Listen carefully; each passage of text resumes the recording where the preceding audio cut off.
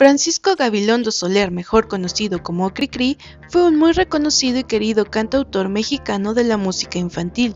Famoso por haber creado el grillito cantor, quien hasta la fecha nos sigue gustando, escribió bellas letras como Caminito a la escuela, Ropa vejero, La muñeca fea y El ropero, entre muchas otras. Originario de Veracruz, llegó a la Ciudad de México en 1928 en busca de estudiar astronomía. Sin embargo, en 1934 comenzó a transmitir canciones para niños en la radio con un espacio de 15 minutos. Convirtiéndose en un ícono infantil, su programa se mantuvo al aire durante 27 años, dejando en su audiencia un gran legado hasta la fecha. En homenaje a Francisco Gabilondo, se estrenó la película Cricri El Grillito Cantor, en donde se explica su vida y aparece una secuencia animada de Walt Disney para la canción de los tres cochinitos dormilones.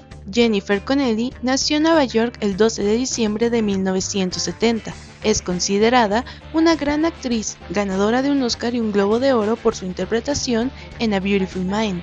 Su inicio en el espectáculo fue gracias a sus padres, ya que la enviaron a un concurso de modelos infantiles, con la que logró situarse como modelo publicitaria, apareciendo en portadas de revista y anuncios de televisión, principalmente japoneses. Jennifer llega a la pantalla grande con la película Once Upon a Time in America, con la que se dio a conocer y logró su ascenso. Entre sus mejores películas están El Diamante de Sangre junto a Leonardo DiCaprio, Casa de Arena y Niebla, Hulk y El Día en que la Tierra se detuvo, entre muchas otras. Próximamente la veremos en Noah, una película basada en el personaje bíblico Noé.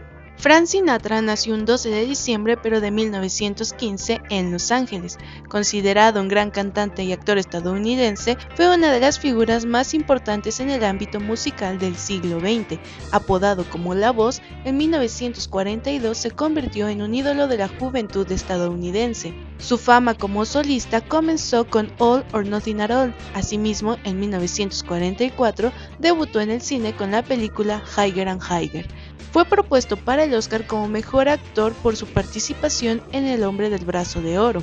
Durante los 60 publicó los temas musicales Nice and Easy y Strangers in the Night y protagonizó El mensajero del miedo, una de sus mejores interpretaciones considerada por la crítica estadounidense, aunque no recibió mayor reconocimiento. Entre sus interpretaciones también lo podemos ver junto a su hija Nancy, con quien compartió escenarios.